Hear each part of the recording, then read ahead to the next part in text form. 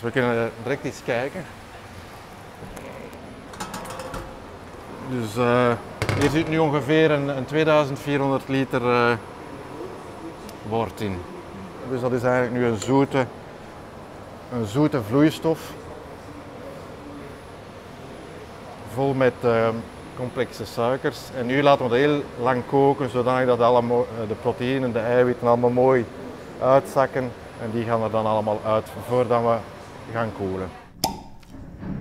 Op zich is het idee van een eigen bier te gaan maken niet zo uh, onlogisch of uh, onwaanzinnig, omdat bier is booming business. Uh, het is echt een hype. Wat dat wel waanzinnig is om het specifiek met lambic te gaan doen of om geuzen te gaan maken is, omdat voor je eindproducten, oude geuzen, heb je lambic nodig van drie jaar oud. Dus moet je eigenlijk in je proces eigenlijk al drie jaar voorsprong nemen om finaal je eindproduct te hebben. Dus economisch gezien is dat het slechtste denkbare bier om, om mee te starten.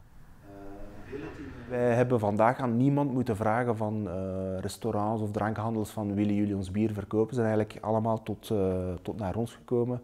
En dan ook de, vraag van het buitenland is enorm. Uh, daar gaan we momenteel nog niet op in. omdat we willen echt lokaal verankeren. Het is een product van het Pajottenland. het is een product van, van hier, van bij ons. Het is uniek. En dan willen we het ook hier eerst ja, beschikbaar stellen. Het gaat verder dan een uh, uit de hand gelopen hobby. Ik zou er hier graag mijn uh, hoofdberoep van maken. Dus uh, dat, is, ja, dat is een ultieme droom natuurlijk. Maar eigenlijk finaal willen we groeien en blijven een goed en ja, kwalitatief product op de markt brengen. Dat blijft toch wel de, de bottom line.